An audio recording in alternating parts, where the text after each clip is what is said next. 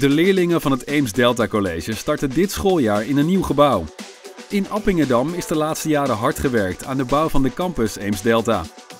In dit pand zijn meerdere compactdeuren van Rolflex verwerkt in het lokaal voertuigtechniek. De architect koos voor deze deur vanwege het slimme vouwsysteem. De panelen vouwen zich op boven de deuropening, waardoor er geen bovenrails nodig zijn. Zo blijft het plafond vrij voor verlichting en afzuiginstallaties. Ook de hefbrug kan ongehinderd gebruikt worden. Door de strakke afwerking met onzichtbare scharnieren geeft de compactdeur zowel binnen als buiten een mooie aanblik.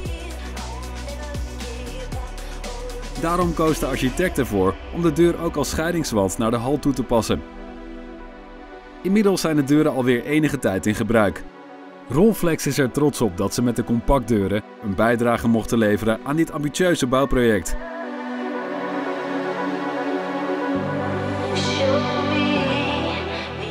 Kijk voor meer projecten en informatie op rolflex.com.